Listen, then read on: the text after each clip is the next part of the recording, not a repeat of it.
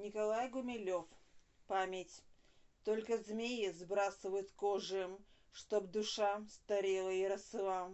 Мы, увы, со змеями не схожи, Мы меняем души, не тела. Память ты рукой великанши, Жизни ведешь, как под усы коня. Ты расскажешь мне о тех, что раньше В этом теле жили до меня. Самый первый, некрасив и тонок, Полюбивший только сумрак рощ, Лист опавший, колдовской ребенок, Словом останавливающий дождь, Дерево да рыжая собака, Вот кого он взял себе в друзья. Память, память, ты не сыщешь знака, Не уверишь мир, что то был я. И второй, любил на ветер с юга, В каждом шуме слышал звона лир, Говорил, что жизнь его подруга, Коврик под его ногами мир. Он совсем не нравится мне это, Он хотел стать богом и царем. Он повесил вывеску поэта Над дверями в мой молчаливый дом. Я люблю избранника свободы, Мореплавателя и стрелка. Ах, ему так звонко переводы И завидовали облака.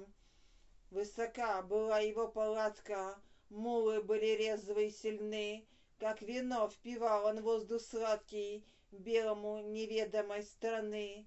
Память ты слабее год от году, Тот ли это или кто другой Променял веселую свободу На священный долгожданный бой.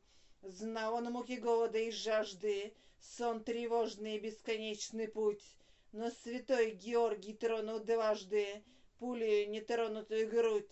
Я угрюмый и упрямый зодчий Храма, восстающего во мгле, Я возревновал о славе отчей, Как на небесах и на земле. Сердце будет пламенем полима, Вплоть до дня, когда взойдут ясны Стены нового Иерусалима На полях моей родной страны. И тогда повеет ветер странный, И прольется с неба страшный свет — это Млечный Путь расцвел нежданно Садом ослепительных планет. Предо мной предстанет мне неведом Путник, скрыв лицо, но все пойму. Видели вас, стремящегося следом, И орла, летящего к нему. Крикну я, но разве кто поможет, Чтоб моя душа не умерла?